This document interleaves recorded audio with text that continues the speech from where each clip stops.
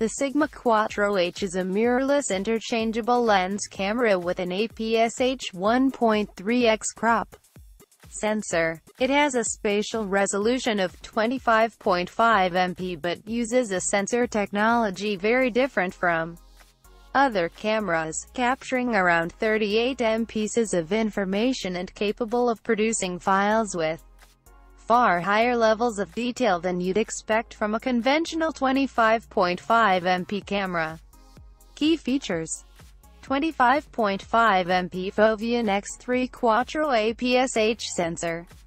Hybrid, combined phase plus contrast detection, autofocus system. JPEG, X3F Raw DNG file output.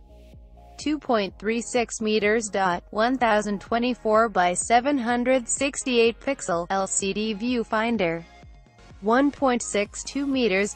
900 by 600 pixel LCD rear screen.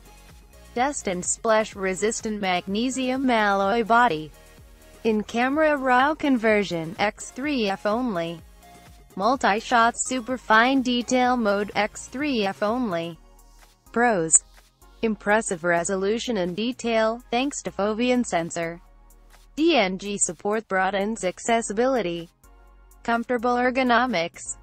Straightforward user interface. Excellent build quality. Seemingly good battery life. Cons. Limited dynamic range, and significant noise at high ISO. We have some concerns about color separation. Exposure preview not always representative. Full-depth SA mount makes the camera quite large. Overall conclusion.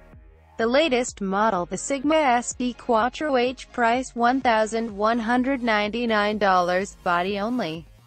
In keeping with Sigma's history of idiosyncratic innovation, there are two things that set it apart from the majority of mirrorless cameras.